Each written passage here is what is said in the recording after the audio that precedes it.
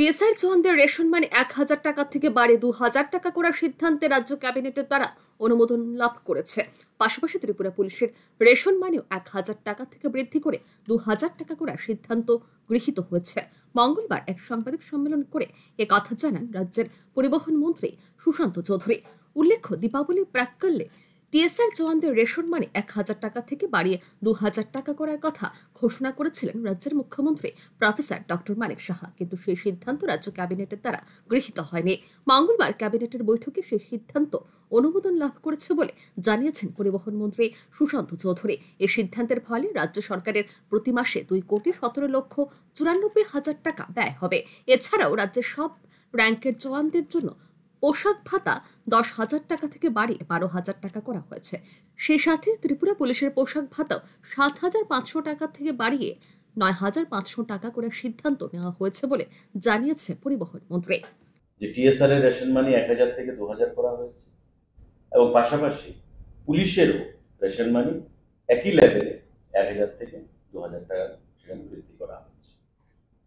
এটা একটা গুরুত্বপূর্ণ সিদ্ধান্ত। রাজ্য মন্ত্রী পরিষদের বৈঠকে প্রদান করা হয়েছে। ড্রেস অ্যালাউন্স টিএসআর আগে ছিল দশ হাজার, এখন হবে বারো হাজার। পুলিশের আগে ছিল সাড়ে সাত হাজার, এখন হবে সাড়ে ন হাজার। সুতরাং টিএসআর এবং পুলিশ বোথ আর বেনিফিটেড একুশ হাজার সাতশো চুরানব্বই জন। পুলিশ প্লাস টিএসআর এছাড়াও এদিন মন্ত্রী পরিষদের বৈঠকে শিক্ষা দপ্তরের অধীন শারীরিক শিক্ষক পদে একশো পঁচিশ জন, যুব বিষয়ক ও ক্রীড়া দপ্তরের অধীন পঁচাত্তর জন জুনিয়র পিআই তথা ফিজিক্যাল ইনস্ট্রাক্টর পদে নিয়োগের সিদ্ধান্ত গ্রহণ করা হয়েছে বলে জানিয়েছেন মন্ত্রী। আমাদের স্কুলগুলোতে ফিজিক্যাল এডুকেশন টিচার সেখানে স্বল্পতা রয়েছে। একটা হচ্ছে ইউথ অ্যাফেয়ার্স এবং স্পোর্টস ডিপার্টমেন্টের অধীন, আরেকটা হচ্ছে স্কুল এডুকেশন দপ্তরের অধীন। যারা ইউথ অ্যাফেয়ার্স এন্ড স্পোর্টস ডিপার্টমেন্টের অধীনে আছেন, তাদের যে রিক্রুটমেন্ট সেটা শুরু হয় জুনিয়র ফিজিক্যাল ইনস্ট্রাক্টর দিয়ে জুনিয়র পিআই দিয়ে।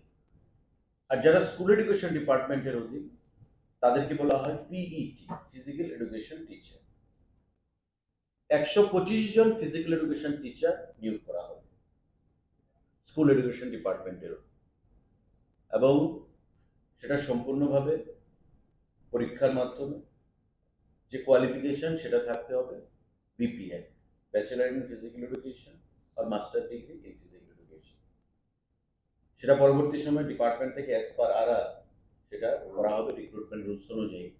কিন্তু আজকে মন্ত্রী পরিষদের বৈঠকে সিদ্ধান্ত হয়েছে যে একশো পঁচিশ জন ফিজিক্যাল এডুকেশন টিচার নিয়োগ করবে স্কুল এডুকেশন ডিপার্টমেন্ট পাশাপাশি এই দিনের এই বৈঠকে মৎস্য দপ্তরের অধীন ফিশারি অফিসার পদে তিপ্পান্ন জন নিয়োগের সিদ্ধান্তের কথাও জানিয়েছেন মন্ত্রী। আরেকটা সিদ্ধান্ত গ্রহণ করা হয়েছে।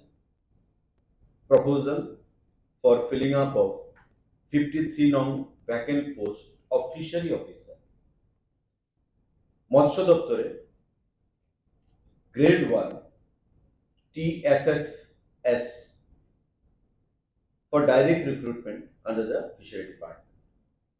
তিপ্পান্ন জন ফিশারি অফিসার গ্রেড ওয়ান নিয়োগ করা হবে। ফিশারি দপ্তরের অধীন ডাইরেক্ট রিক্রুটমেন্টের মাধ্যমে টিপিএসসির মাধ্যমে আজকে মন্ত্রী পরিষদের বৈঠকে সেই সিদ্ধান্ত গ্রহণ করা হবে। রিপোর্ট আর ইনিউজ নিউজ